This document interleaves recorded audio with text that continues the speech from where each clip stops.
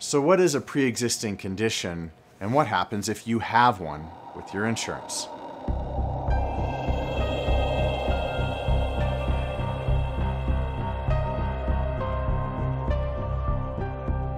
So, I want you to picture this. I want you to picture you're going for a nice Sunday drive down the road, speed limit's 30 miles an hour, and a car comes racing by you at 80 miles an hour.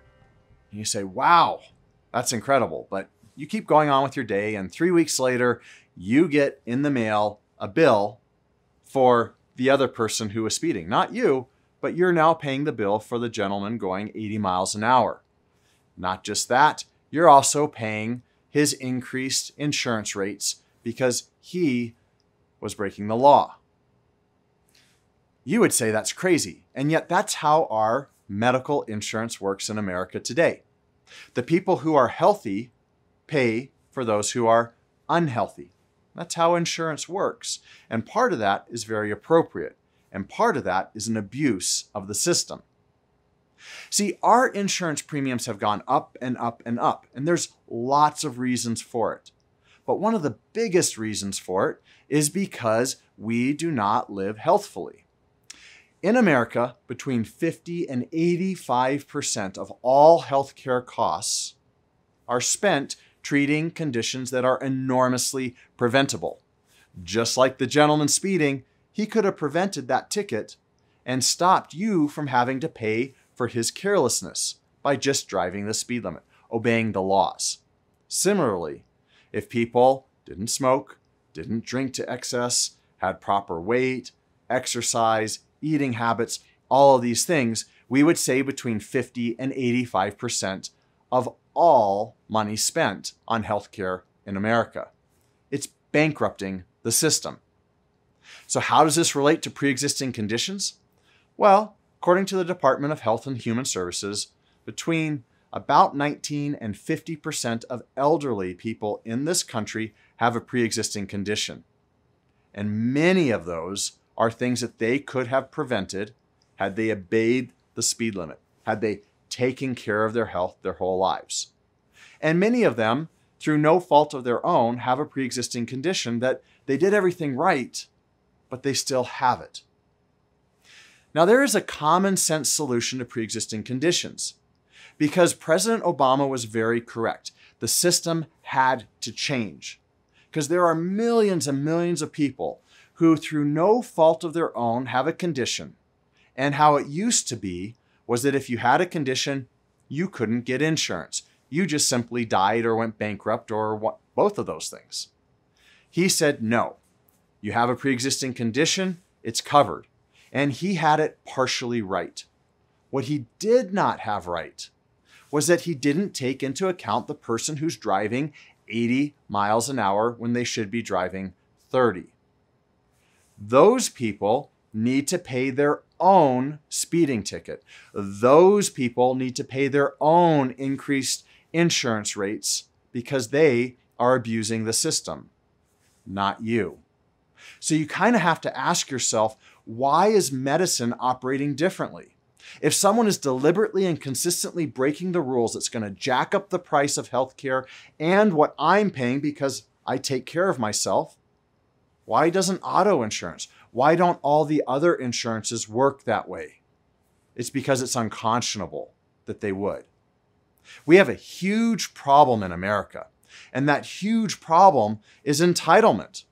People think that they can smoke three packs of cigarettes a day and be 300 pounds overweight and never exercise and drink too much and all of these things, and it's okay because somebody else is going to pay for it. That is bankrupting the system.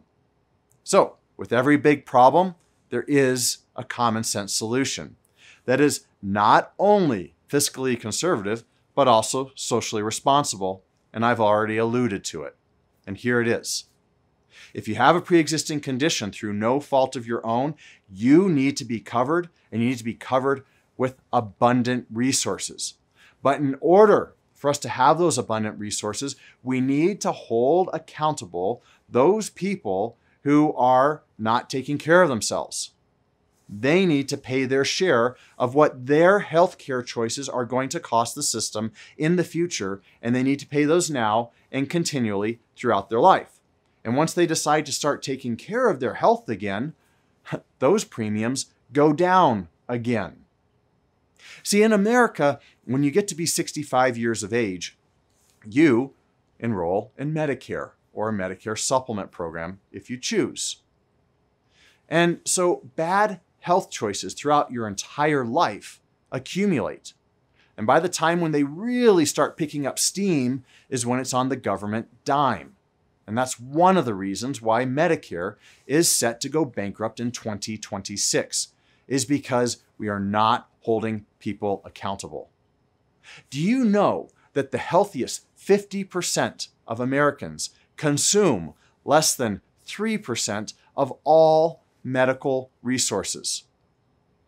So if you're sitting there saying, Reagan, this is ridiculous, it's not going to save that much money, if the healthiest 50% are only consuming 3%, imagine what would happen if all of us took care of ourselves, even the people with pre existing conditions. If we all took care of ourselves to the best of our ability, then how much we spent on medicine would be a fraction. Those who didn't want to take care of themselves, they just paid what their choices were going to cost the system over time. Then we would have so much money to take care of those who needed our help, even though they were doing everything they needed to to stand on their own two feet. They just had a pre existing condition and they need our help with. I think it's time that we stop polarizing these issues and stop saying everybody with the pre existing condition gets everything. We know that's not sustainable. And I think we also know that to be fiscally conservative and responsible, we need to hold people accountable for their own actions so that our system doesn't go bankrupt. See, it's not an either or. Well, I guess it is an either or. If you want the system to collapse and want Washington to keep spinning its wheels, arguing over political dogma. But if you want a healthy society, if you want to have medical resources when you need them, we need to balance both of these in a common sense way and move our country forward. Choice is yours. To learn more common sense solutions, to learn how you can personally get involved, and to be the change you wish to see in the world, subscribe to this channel and we'll let you know when new videos are out. Please also check out the book I wrote, Universal Death Care, a solution for healthcare in the age of entitlement.